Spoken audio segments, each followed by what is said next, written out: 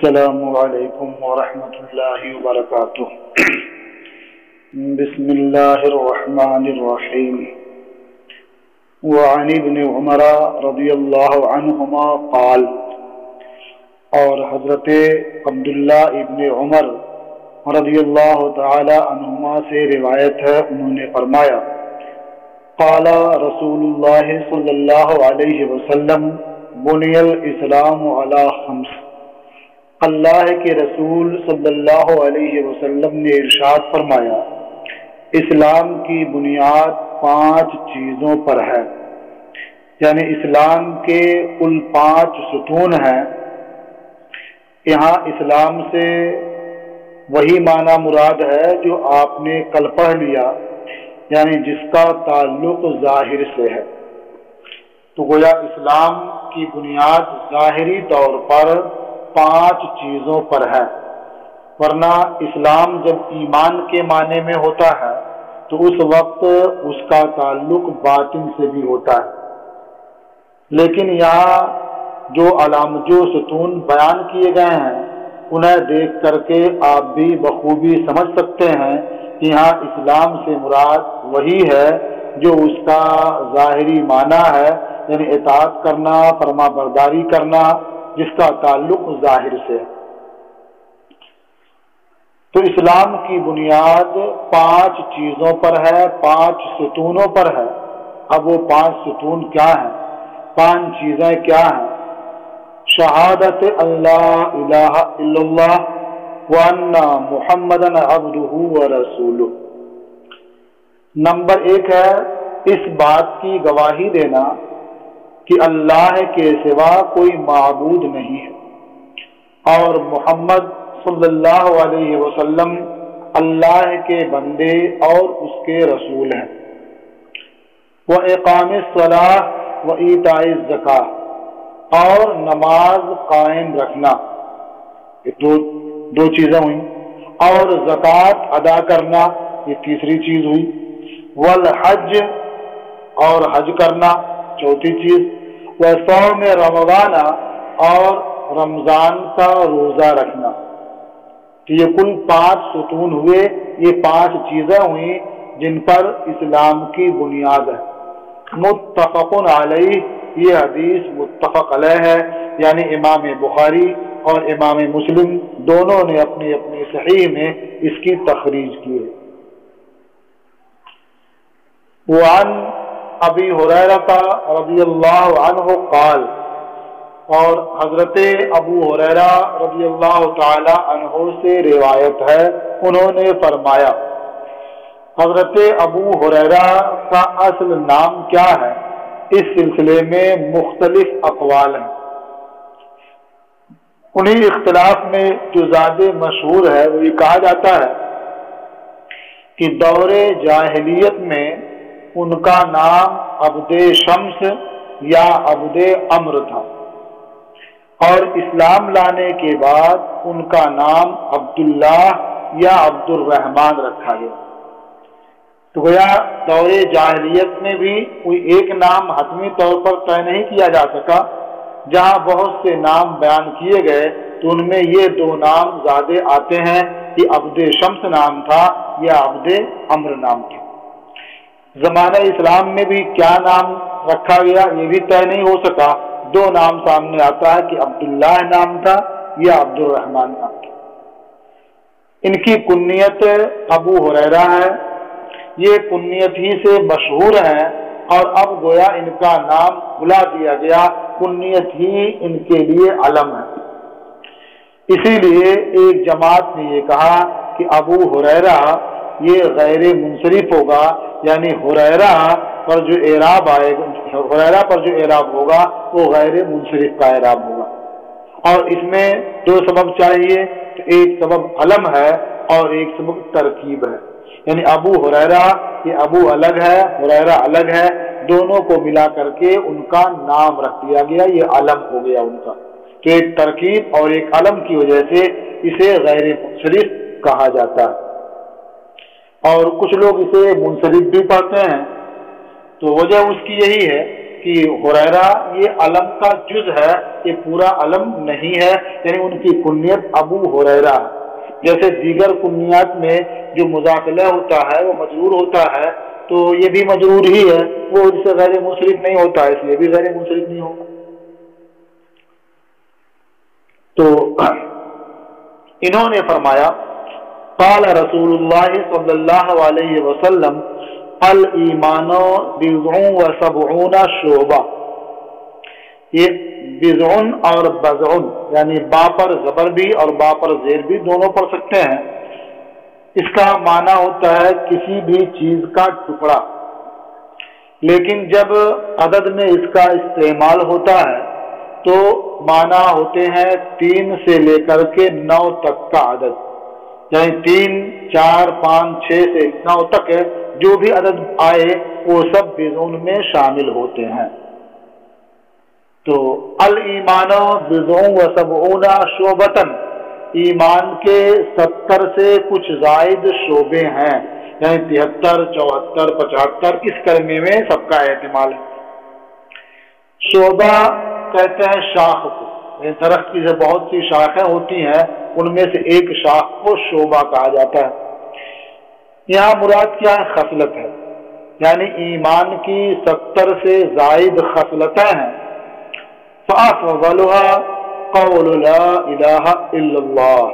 तो उन खसलतों में, उन शोबों में अफजल ला इलाहा इल्लल्लाह कहना वो अदनाहा इमातुल अदा तरीक और उनमें अदना, रास्ते से तकलीफ़ दे चीज़ को हटाना है, दूर करना। अदा ये मसदर है, इसमें फ़ाइल मूजिन के माने में, यानी हर वो चीज़ जो जाने वाले, गुजरने वालों के लिए तकलीफ़ दे हो, उसे हटा देना, ये भी इस्लाम का एक शोबा है, इस्लाम की एक खसलत है। मसलन, रास्ते में किसी ने पत्थर फेंक दिया रास्ते में कोई पेड़ गिर गया, रास्ते में कोई शाख आ गई, कहीं से कांटा आ गया। यानी कोई भी तकलीफ़ दे चीज़ रास्ते में आ गई तो उसे रास्ते से हटा देना, दूर कर देना, ये ईमान का एक शोभा है, ईमान का एक हिस्सा है। वल हयाओ शोबतुल ईमान, और हया ईमान का एक शोभा है। यानी हया भी ईमान की एक खसलत है, ईमान का एक हिस्सा है। हया से मुराद ये हयाए ईमानी है, हयाए नफसानी या शैतानी नहीं। आप सोचते होंगे कि ईमानी हया क्या है और ये नफसानी हया क्या है? तो उसे एक मिसाल से आप यूँ समझें कि अगर आपको सुबह गुस्ल करने की ज़रूरत पेश आ जाए तो आप ये सोच करके सोए पड़े हैं कि कोई क्या कहेगा कि इतने सवेरे सवेरे ये गुस्ल कर रहे हैं। तो इसे हया की वजह से कि लोग क्या कहेंगे या लोगों को ये अंदाज़ा हो जाएगा कि इन्हें नहाने की ज़रूरत पेश आ गई थी, गुस्ल इन पर फ़र्ज़ हो चुका था। तो इस हया की वजह से आपने गुस्ल नहीं किया, सोए पड़े रहे और जब आठ बज गया, नौ बज गया या उसके करीब कोई वक्त हुआ आप उठे तब गुस्ल किया आपने। तो हया की वजह से आपने बर वक्त गुस्ल नहीं किया। ये हया कौन सी थी? ये हया नफसानी हया है, ये शैतानी हया है। इस हया का ईमान से कोई ताल्लुक नहीं है। ईमानी हया तो ये थी कि आपकी नमाज़ सजा ना होती, आप वक्त से गुस्ल करते और भागते हुए मस्जिद पहुँचते, ये ईमानी हया थी। आप गौर फरमाएँ कि जो रब आपको हर वक्त खाने, पीने, पहनने, ओढ़ने और तरह तरह की नेमतें मुहैया करता है, उस रब का मुनादी फजर की अजान दे रहा था, आपको नमाज़ के लिए बुला रहा था, आपने उस मुनादी की निदा की तरफ़ कोई तवज्जो नहीं दी, आपको कोई हया नहीं आई कि जो हमारे लिए हर चीज़ का इंतज़ाम करता है, उसका मुनादी निदा दे रहा है, उसकी आवाज़ को लब फेंक के और मस्जिद पहुँच जाए। तो असल हया, ईमानी हया तो ये थी कि आपको नहाने की ज़रूरत पेश आ गई थी तो आप जल्दी से गुस्ल से फारिग होते और दौड़ते हुए मस्जिद पहुँच जाते। ये आपकी ईमानी हया थी। लेकिन आपने इसका लिहाज नहीं किया, बल्कि इसका लिहाज किया, लोग क्या कहेंगे? तो ये नफसानी हया है और शैतानी हया है। तो हया ईमान का एक हिस्सा है, यानी ईमानी जो हया है तो ईमान का एक हिस्सा है।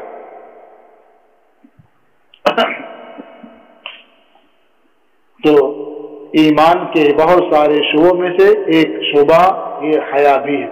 ये हदीस भी मुतफ़ है वान अब्दुल्ला इब्न आमर रज़ी अल्लाह काल, और हज़रत अब्दुल्ला इब्न अमर रबी अल्लाह तहों से रिवायत उन्होंने फरमाया, काला रसूलुल्लाह सल्लल्लाहु अल मुस्लिमो मन सलम अल मुस्लिमूना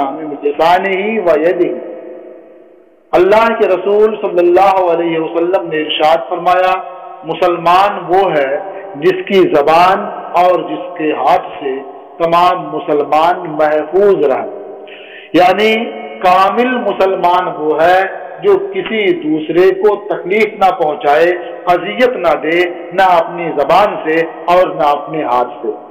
जबान से तकलीफ़ पहुंचाना क्या है? कि आदमी गाली दे दूसरे को, उसे बुरा भला कहे और हाथ से तकलीफ़ पहुंचाना, उसे क्या जरब लगाए? या जरब लगाना ही ज़रूरी नहीं है, बल्कि हाथों के इशारे से भी लोग दूसरों को अजियत पहुंचाते हैं। अगर हाथों के इशारे से भी चिढ़ाया और अजियत पहुंचाई तो ये भी हाथ से महफूज ना रहने में आ गया। तो कामिल मुसलमान वो शख्स है कि जिसकी जबान से और जिसके हाथ से तमाम मुसलमान महफूज हों।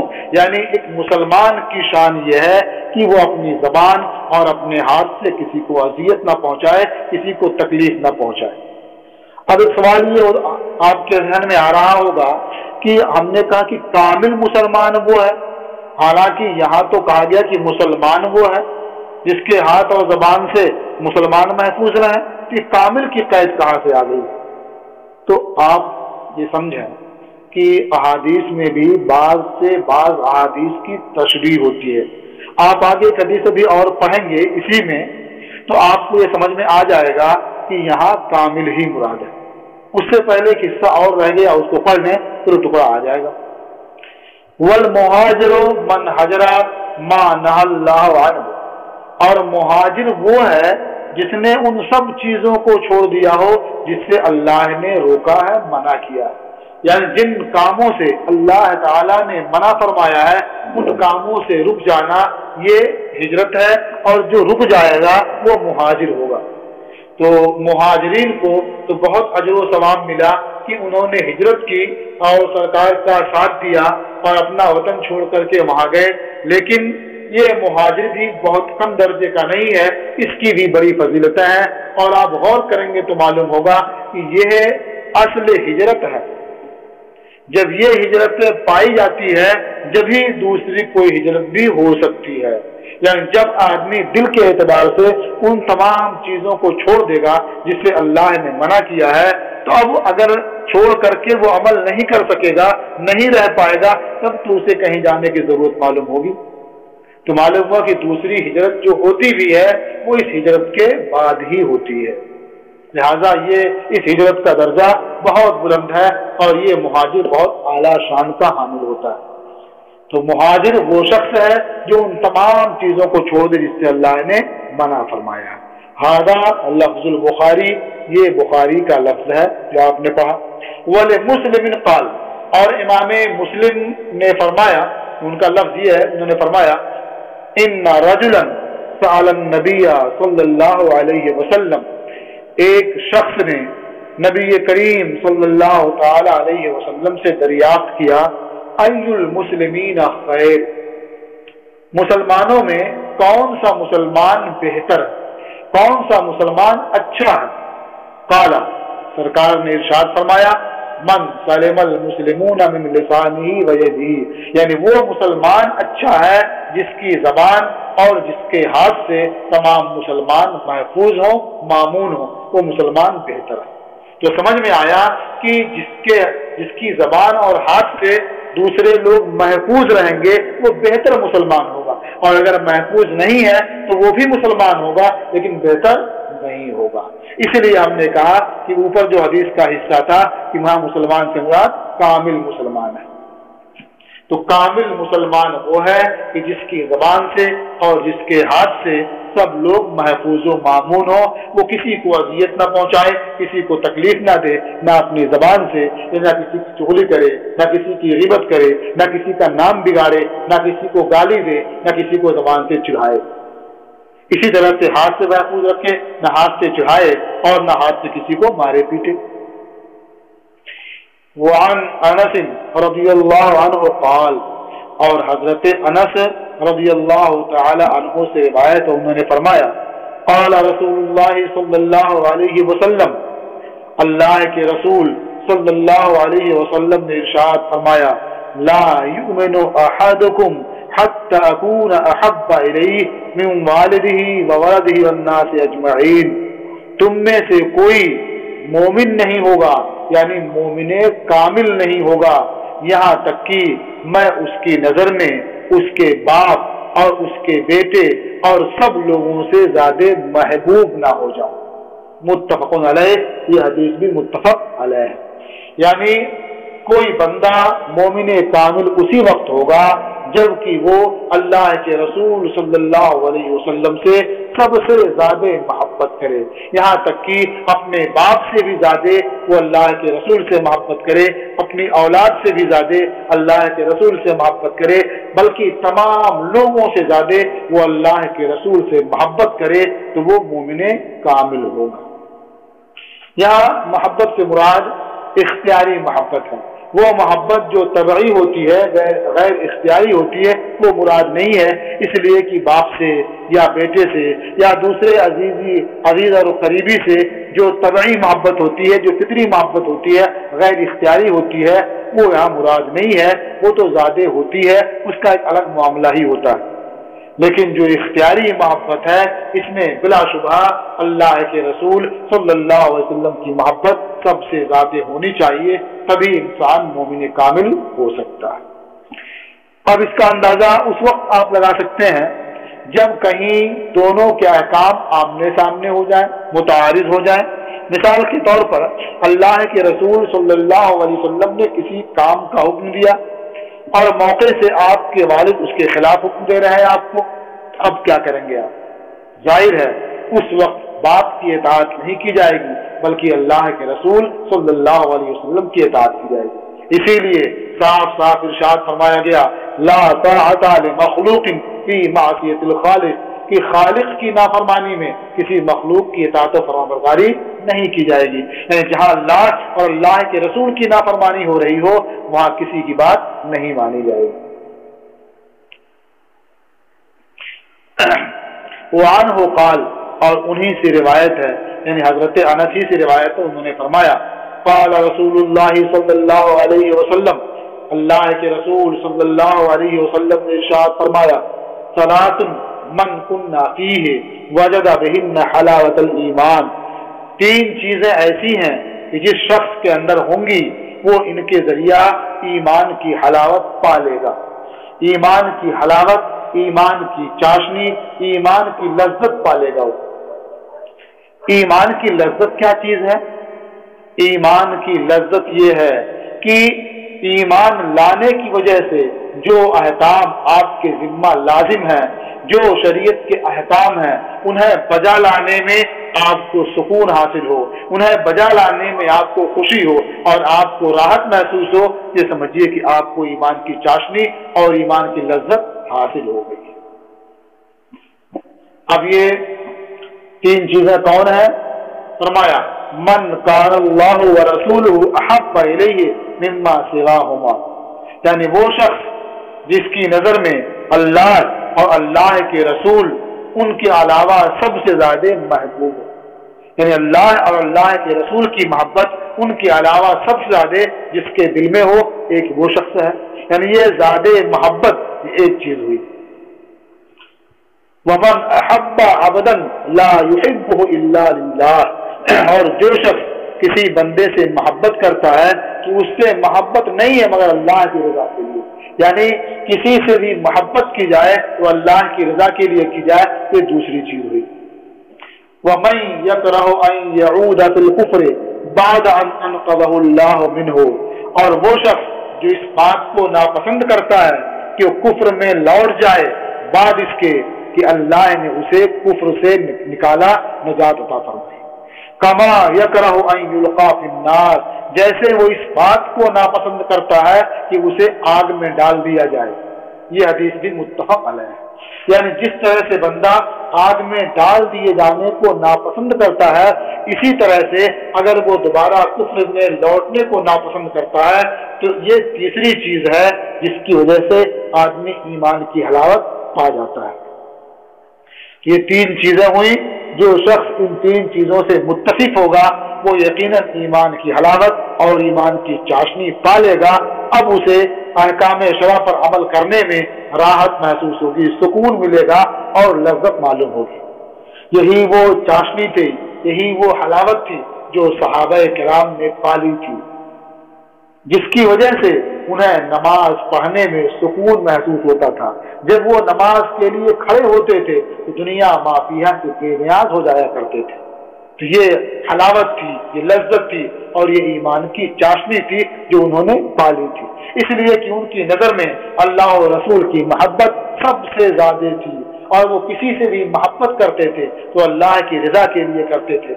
और कुफर में लौट जाना उन्हें ऐसे ही नापसंद था जैसे आग में डाला जाना उन्हें नापसंद था।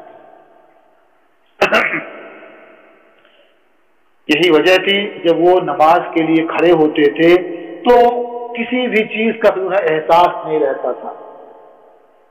वो जख्म, वो चीज़ें जो गैर नमाज़ में निकालना मुश्किल होती थी, जिसका इलाज मुश्किल होता था। नमाज़ में खड़े हैं तो वो चीज़ निकाली जाती थी, वो इलाज हो जाया करता था और उन्हें इसका एहसास भी नहीं हुआ करता था। आप लज्जत क्यों समझें कि जब बंदा किसी से वाकई मोहब्बत करता है तो उसकी इतात करने में उसे बड़ी लज्जत महसूस होती है। आप दुनियादारों को देख लीजिए कि अगर किसी को किसी औरत से मोहब्बत होती है, उससे दिल लग जाता है तो अगर वो रात की तनहाई में किसी सुनसान जगह भी बुलाए तो बंदा दौड़ा हुआ चला जाता है और रास्ते की सारी कुल्फतें भूल जाता है, बल्कि कदम कदम पर उसे सुकून मिलता है, उसे सुरूर हासिल होता है और जो जो कुर्ब बढ़ता जाता है, उसकी खुशी की इंतहा नहीं रहती। ये क्यों होता है? सिर्फ़ इसलिए कि उसे उस औरत से मोहब्बत है, जो बिल्कुल आरजी होती है पानी होती है और खत्म होने हो जाने वाली होती है। तो जिसे अल्लाह और रसूल से मोहब्बत होगी तो उसे अल्लाह और रसूल की एतात करने में कितना मज़ा आएगा, कितना सुकून मिलेगा कितनी लजत मालूम होगी, इसका अंदाज़ा बगैर मोहब्बत के नहीं हो सकता। इसीलिए तो किसी ने कहा था, ना सिहा मत कर, नसीहत दिल मेरा घबराए। मैं उसे बुरा समझता हूँ जो मुझे समझाए। यानी ये मोहब्बत का मामला ये है कि जब आदमी सच्ची मोहब्बत करता है, तब महबूब के फरामीन की अहमियत उसे मालूम होती है और अमल करने की चाशनी उसे महसूस होती है। और एक दूसरे शायर ने भी इस हवाले से बड़ी प्यारी बात कही है, मोहब्बत को समझना है तो ना से खुद मोहब्बत कर। किनारे से कभी अंदाज है तूफा नहीं होता। कि सिर्फ़ सुनने की बात नहीं है। जब आपको अल्लाह और रसूल से गायद दर्जा मोहब्बत हो जाएगी तो नमाज़ पढ़ने में, रोज़ा रखने में, हज करने में, जक़ात देने में, जो लज्जत, जो चाशनी आपको मालूम होगी, वो सिर्फ़ सुनने से उसका आप अंदाज़ा नहीं लगा सकते। जैसे हम कभी कभी सोचा करते थे कि सहाब कराम या ताबीन या अल्लाह के नेक बंदे ये नमाजों में रात रात भर कैसे खड़े रहते थे, कैसे जागते रहते थे, उन्हें नींद क्यों नहीं आती थी? ये सोचते रहते थे। लेकिन जब से ये मोबाइल आया और नेट की फरावानी हुई तो अब ये समझना कुछ मुश्किल नहीं रह गया।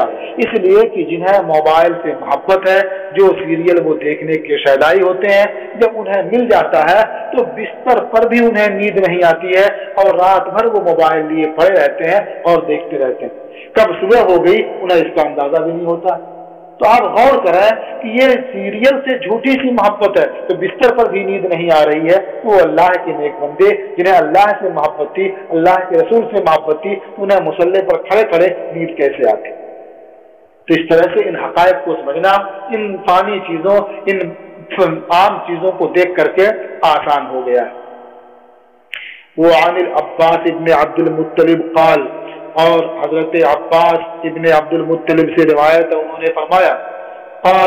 रसूल सल्लल्लाहु अलैहि वसल्लम ज़ाका तामल ईमान मन रज़िया बिल्लाह रब्बा अल्लाह के रसूल सल्लल्लाहु अलैहि वसल्लम ने इरशाद फरमाया उस शख्स ने ईमान का मजा चख लिया यानी उसे ईमान की हलावत मिल गई उसकी चाशनी मिल गई जो अल्लाह के रब होने पर राजी हो गया बिल इस्लाम दीना और इस्लाम के दीन होने पर राज़ी हो गया। अब मोहम्मद रसूला और मोहम्मद वसल्लम के रसूल होने पर राज़ी हो गया। रवा मुस्लिम, इसे इमाम मुस्लिम ने रिवायत किया। इसलिए कि जो शख्स अल्लाह के रब होने, इस्लाम के दीन होने और मोहम्मद वसल्लम के रसूल होने पर राज़ी होगा तो जो कुछ भी अहकाम इनकी तरफ़ से होंगे, उन पर अमल करने में उसे सुकून और राहत मालूम होगी। वान अभी हुरैरताल और हजरत अबू हुरैर रजी अल्लाह तु से रिवायत उन्होंने फरमाया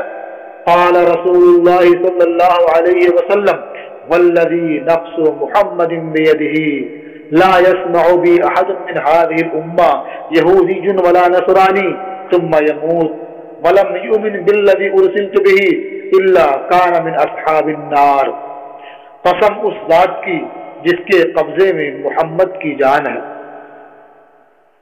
इस उम्मत में से कोई भी मेरे बारे में नहीं सुनेगा खा वो यहूदी हो या नसरानी हो, फिर वो मर जाए और उस पर ईमान न लाए, जिसके साथ मुझे भेजा गया है। या जिस दीन के साथ मुझे भेजा गया है, उस पर ईमान न लाए तो वो असहाबे नार में से होगा। यानी जिसे भी मेरी बेसत का इल्म हुआ, जिसे भी मेरी आमद की तिला मिली, मेरे नबी होने को जिसने भी जाना, खाए वो यहूदी हो, खाए वो नसरानी हो, अगर वो मर गया और ईमान नहीं लाया तो वो असहाबे नार में से होगा। तो इस हदीस में जो कहा गया, मिन हादिल उम्मा यहाँ उम्मत से मुराद उम्मत दावत है।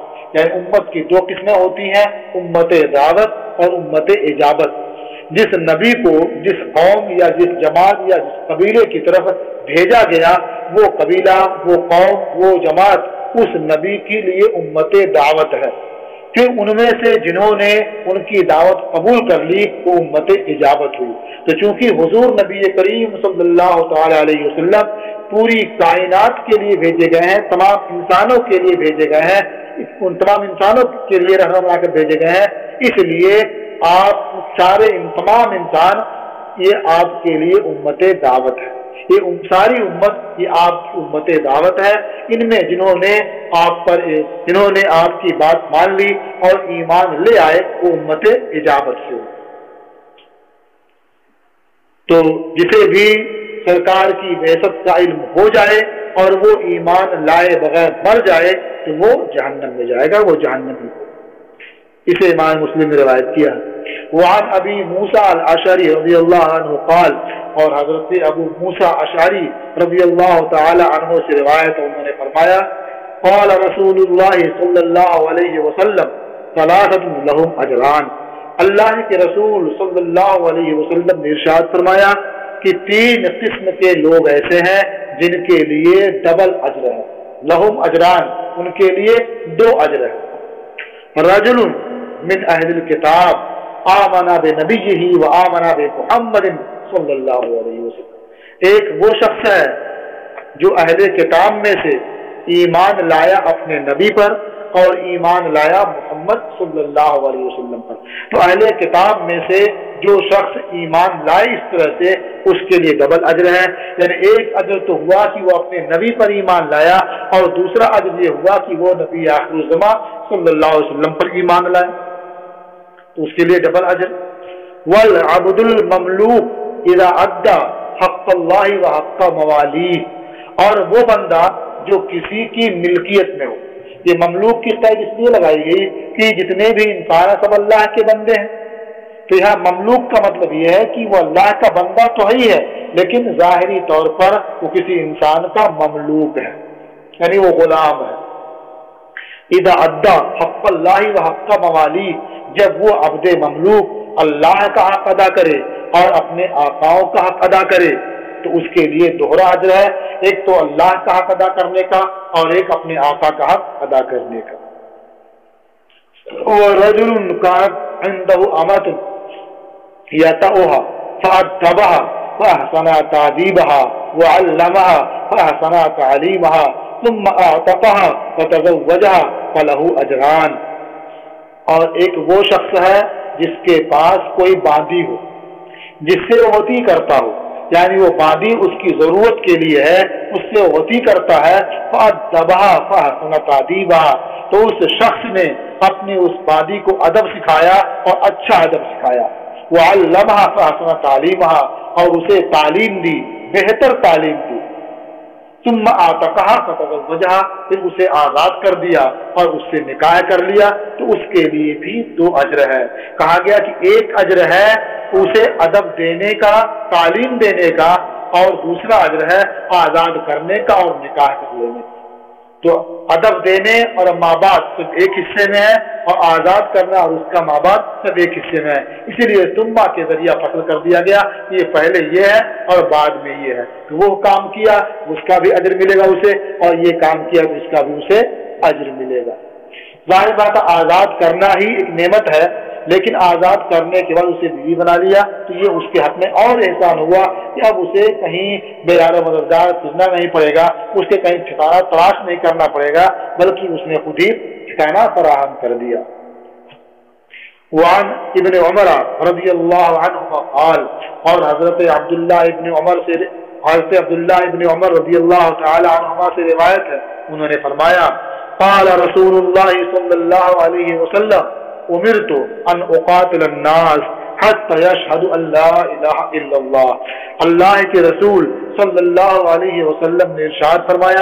मुझे लोगों से किताल का हुक्म दिया गया है। यहाँ तक कि लोग गवाही दें इस बात की कि अल्लाह के सिवा कोई मबूद नहीं है। और मोहम्मद सल्लल्लाहु अल्लाह के रसूल हैं। वह युकीमसलात और नमाज़ कायम करें और जक़ात दें। फ़ैदा फ़ालू रालिका असम मिन्नी दिमाहम व अमवालहम इल्ला इस्लाम तो जब लोग ऐसा करें तो उन्होंने मुझसे अपने खून और अपने अमवाल को महफूज कर लिया यानी अब किसी के लिए या मेरे लिए ये रवा नहीं है कि मैं उनके खून और उनके अमवाल से कोई तारुज करूँ इल्ला इस्लाम, मगर इस्लाम के हक में। यानी अगर कोई आदमी इस्लाम के जबते के खिलाफ करता है, किसी को नाहक कत्ल कर देता है तो अगरचे वो कातिल मुसलमान है, लेकिन बदले में उसे कत्ल किया जाएगा। अगर वो किसी का माल छीन लेता है, चोरी कर लेता है, या इस तरह कोई जुर्म करता है तो जो उसकी सजा है, वो सजा उस पर जारी की जाएगी। ये नहीं देखा जाएगा ये मुसलमान है तो सजा ना मिले। इस्लाम लाने के बाद बिलाशुबा जान, माल सब महफूज होंगे। लेकिन अगर वो इस्लाम के खिलाफ कोई काम करता है, कोई ऐसा जुर्म करता है, जिसकी हद शरीयत में मुकर है तो हद जारी की जाएगी। किसास वाला जुर्म करता है तो किसास भी जारी किया जाएगा। वह हिसाब अल्लाह और उनका हिसाब अल्लाह के जिम्मा है। यानी ये ज़ाहिर के अहकाम हुए।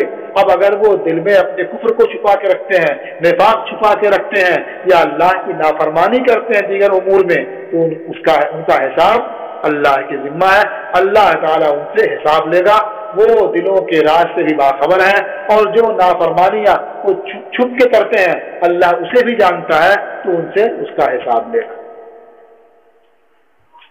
मुतफ़न ये हदीस मुतफ़ है इल्ला अन्ना मुस्लिमन लम यजकुर इल्ला बेहकिल इस्लाम मगर ये कि इमाम मुस्लिम ने इल्ला बेहकिल इस्लाम का लफ्ज ज़िक्र नहीं किया है ये जुमला उनकी रिवायत में नहीं है वान अनसिन अन्नहु काल और हज़रत अनस से रिवायत उन्होंने फरमाया काल रसूलुल्लाह सल्लल्लाहु अलैहि वसल्लम अल्लाह के रसूल वसल्लम ने इरशाद फरमाया, मन सल्ला सलातना जिसने हमारे नमाज़ पढ़ने की तरह से नमाज़ पढ़ी, वस्तकबला किबलतना और हमारे किबले का इस्तेमाल किया वह अकला जबी हतना और हमारा जबिया खाया।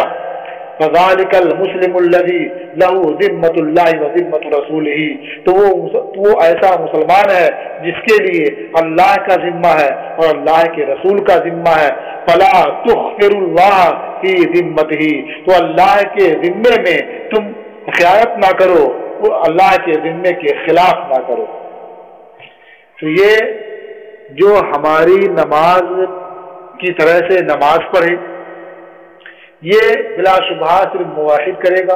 जो मोमिन होगा, उसी की नमाज़ हमारी नमाज़ की तरह से होगी। बाकी और जो लोग हैं, उनकी नमाज़ तो अलग तरह से है, उनकी इबादत अलग तरह से है। तो जो हमारी नमाज़ की तरह से नमाज़ पढ़ता है, हमारे रुकू सजदे की तरह से रुकू सजदा करता है, और सारे अरकान उसी तरह से अदा करता है, ये एक काम हुआ। अब उसके बाद कहा गया जो हमारे किबले का इस्तेमाल करता है, ये तो हमारी तरह नमाज़ पढ़ने में शामिल ही था। इसको अलग से बयान कर दिया गया। इसलिए कि इसे सब लोग पहचानते हैं कि कौन किस, किसकी तरफ़ रुख करके नमाज़ अदा करता है। तो जो किबला की तरफ़ रुख करके नमाज़ पढ़ते हैं, हमारे किबला को जो किबला बनाता है तो वो मुसलमान है, जिसके लिए अल्लाह और उसके रसूल का जिम्मा है। यहाँ उन बातिल फिरकों से एतराज़ नहीं किया जा सकता। जो देखने में तो हमारी तरह नमाज़ पढ़ते हुए मालूम होते हैं, या देखने में हमारे किले का इस्तेमाल करते हैं और हमारा जबीहा खाते हैं, उन बातिल फिरकों से इतराज नहीं किया जा सकता। इसलिए कि उनकी नमाज़ हकीकत में हमारी नमाज़ की तरह से है ही नहीं। इसलिए कि नमाज़ हमारी नमाज़ की तरह से कब होगी? जब ईमान हमारे ईमान की तरह से होगा। जब अल्लाह के महबूब सल्लल्लाहु अलैहि वसल्लम की ताजीम दिल में बसी होगी, जब दिल में ये, जब अकीदा ये हो, जब ईजान और एतमाद इस बात पर हो कि नमाज़ के दरमियान गाय, बैल, गधे का ख्याल आ जाए, ये नबी के ख्याल आने से अच्छा है। तो ज़ाहिर बात है, जिनकी नमाज़ इस तरह से होगी कि उनकी नमाजों में गाय बैल गधे का ख्याल आता रहेगा, बल्कि वो लाते रहेंगे ये ख्याल करना अच्छा है तो उनकी नमाज़, हमारी नमाज़ की तरह कैसे हो सकती है? हमारी नमाज़ तो वो होती है जिसमें नबी आखिरमा वसल्लम का तस्वुर हो, उनका ख्याल हो, बल्कि जब कादे में तहियात आप पढ़ें, उनका तस्वुर बल्कि उनके पूरे तशहुद का जो पूरा वाक़ है, वो सारा वाक़ आपके जहन दिमाग में हो। तो वो आया किस्म की नमाज़ होती है तो जो हमारी नमाज़ की नमाज़ होता है, उसमें वो लोग दाखिल ही नहीं है, जो अगर से देखने में हमारी की तरह पढ़ते हैं। इसलिए उनकी नमाजों से इतराज नहीं हो सकता। वान अभी हुरैरता काल, और हज़रत अबू हुरैरा से रिवायत तो उन्होंने फरमाया पता आराबी नबी सल्लल्लाहु अलैहि वसल्लम, एक आराबी नबी करीम सल्लल्लाहु अलैहि वसल्लम की बारगाह में आए। आराबी कहते हैं उसे जो बादिया में रहता है, सहरा में रहता है, यानी बद्दू, या यहाँ की जबान में देहाती और दवार कह सकते हैं, या जो शहर की तहजीब से आगाह नहीं होते हैं। और मुतन अरब जब बोलते हैं तो वो जो शहर में रहते हैं, जो शहर की तहजीब से आशना और आगाह होते हैं। तो यहाँ जब आराबी बोलते हैं या बदरी कहते हैं तो मुराद वही होते हैं जो बादिया में, सहरा में रहने वाले होते हैं, जो शहर के आदाब और तहजीब से बहुत वाकिफ नहीं होते। दुल्लनी आला अमल इधर आमिल तो दखलतुल जन्ना तो आराबी तशरीफ़ लाए, उन्होंने अर्ज़ किया क्या रसुल्ला मुझे कोई ऐसा अमल बता दें, जब मैं वो काम कर लूँ कि जन्नत में दाखिल हो जाऊँ। का आसान नुस्खा कोई अमल बता दें कि मैं वो अमल करता रहूँ, जन्नत में दाखिल हो जाऊँ? बाला, सरकार ने इर्शाद फरमाया, ताबुदुल्लाह, तुम अल्लाह की इबादत करो। वला तुश्र बही शया, और उसके साथ किसी को शरीक ना ठहराओ। ये ताबुदुल्लाह में, ये ताबुदो, ये तेरे मुजारे है ये खबर है अमर के माने में। यानी बजाहिर तो ये लगता है कि ये बताया जा रहा है कि तुम अल्लाह की इबादत करते हो। लेकिन यहाँ बताना क्या है कि तुम अल्लाह की इबादत करो। तो ये खबर है अमर के माने में। और एक सूरत यह है कि आप पढ़े अनताबुदल्लाह ये मंसूब हो। मुबतदा क्या हुआ? इसका मर्ज अमल। यानी वो अमल क्या है? अल्लाह की इबादत करना। और मजदरिया जो अलमजरिया हजफ कर दिया गया तो अब जो उसके बाद फेल था, वो मरफू बाकी रह गया अपने हाल पर। तो आप पढ़े तबुदुल्ला और माना क्या हो? हुआ अनतबुदल्ला यानी वो अल्लाह की इबादत करना है। और एक सूरत यह है कि ये मस्तर के है फेल लेकिन मस्तर के दर्जे में उतार लिया गया है। जब भी सूरत वही, यानी मसदर मुअल तब भी होगा। तो फरमाया, ताबुदुल्लाह वाला तुश्रक भी शैया तुम अल्लाह की इबादत करो और किसी को उसका शरीक ना ठहराओ। वो तुकीम सलात मकतूबा और फ़र्ज़ नमाज़ कायम करो। वो तो अद्दी जक़ात मफरूजा और फ़र्ज़ जक़ात अदा करो। वह तसूम और रमजाना और रमज़ान के रोज़े रखो। काला वल्लदी नफसी बेदी ला अजीद अला हादा शैया वला हो उस शख्स ने कहा, कसम उस जात की जिसके कब्जे में मेरी जान है, ना तो मैं इस पर कुछ इजाफा करूँगा, यानी अपनी तरफ़ से, और ना ही मैं इसमें से कुछ कमी करूँगा। तो अब यहाँ आप देखें कि नमाज़ कायम करने का हुक्म दिया गया, जक़ात देने का हुक्म दिया गया, रमज़ान के रोज़े रखने का हुक्म दिया गया, लेकिन हज करने का हुक्म नहीं दिया गया। तो इसका जवाब दिया गया कि हज करने का हुक्म नहीं दिया गया वो इसलिए कि उस वक्त तक हज फ़र्ज़ ही नहीं हुआ था।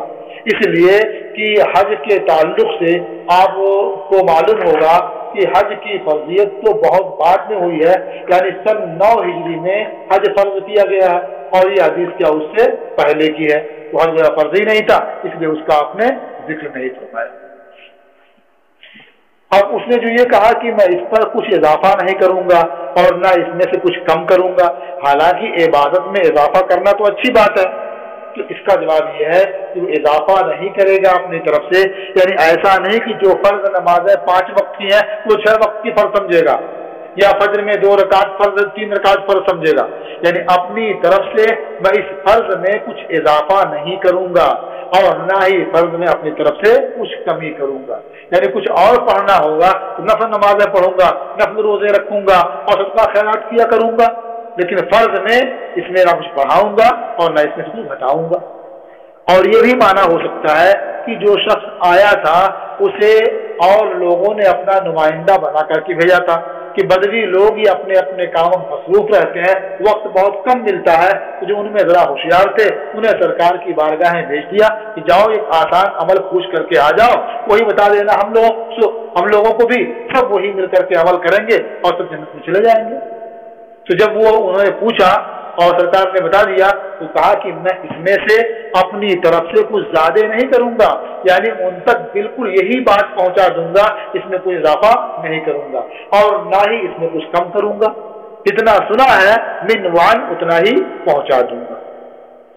फलम्मा वल्ला तो जब वो शख्स पीठ फेर कर चला, काला नबी सल्लल्लाहु तो नबी करीम वसल्लम ने इरशाद फरमाया मन सरहू यंजुरा इला रजुल मिन अहल जन्ना फल यंजुर इला हाजा जिसे जन्नती मर्द की तरफ़ देखना खुश करे तो उसे चाहिए कि इस शख्स को देख ले मन रहू जिसे खुश कर दे ये चीज़ कि वो अहले जन्नत में से किसी मर्द को देखे जन्नती मर्द को देखना जिसे खुशी बख्शे जिसके लिए ज़रूर का बाइस हो फल यंजुर इलाहाजा तो उसे चाहिए, इस शख्स को देख ले। तो गोया अल्लाह के रसूल वसल्लम ने उसके जन्नती होने की खुशखबरी सुना दी। ये शख्स जन्नती है। ये हदीस भी मुतफक अलह है। सुफियान अब्दुल्ला और सुफियान इबन अब्दुल्ला से रिवायत उन्होंने बयान किया। कुल तो या मैंने अर्ज़ किया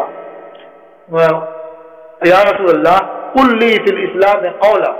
आप मेरे लिए इस्लाम में कोई ऐसी बात बयान फरमा दें, ला अस अलवान हो अहदन बाद का कि आपके बाद मैं किसी से उस बारे में दरियाफ्त ना करूँ। वफी रिवायत गैरता, और एक रिवायत में है कि आपके अलावा मैं किसी से उस बारे में दरियाफ्त ना करूँ। तो सरकार ने इरशाद फरमाया, कुल आमंत बिल्लाह तुम मस्तकिम। सरकार ने इरशाद फरमाया कि तुम कहो कि मैं अल्लाह पर ईमान लाया। यानी उन तमाम चीज़ों के साथ जिन पर ईमान लाना ज़रूरी है, उन सब पर मैं ईमान लाया। तुम मस्तकिम फिर उसी पर साबित कदम रहो। यानी जब सब चीज़ों पर ईमान ले आए तो जो उसका तकाजा है ईमान लाने का, उसके मुताबिक तुम अमल करते रहो, उसी पर साबित कदम रहो। बस इसके अलावा तुम्हें न कुछ करने की ज़रूरत है, न इस बारे में किसी से पूछने की ज़रूरत है। तो कैसी मुख्तसर सी बात और बहुत वाज सी बात है कि जब आदमी तमाम चीज़ों पर ईमान लाए और उसके मुख्तियात पर अमल करता रहे तो फिर उसके लिए अब किसी और की ज़रूरत ही नहीं है। ना किसी से पूछने की ज़रूरत है, ना कुछ और करने की ज़रूरत है। वो ऐसा करता रहे, वो दुनिया आखरत दोनों में कामयाब होगा। रवा हो मुस्लिम, इसे इमाम मुस्लिम ने रिवायत किया है। बस। सबक इसी पर आपका मौकूफ होता है। आगे हदीस जरा लंबी है और वक्त भी आपका हो चुका है। असलकम वरहमल वबरकatuh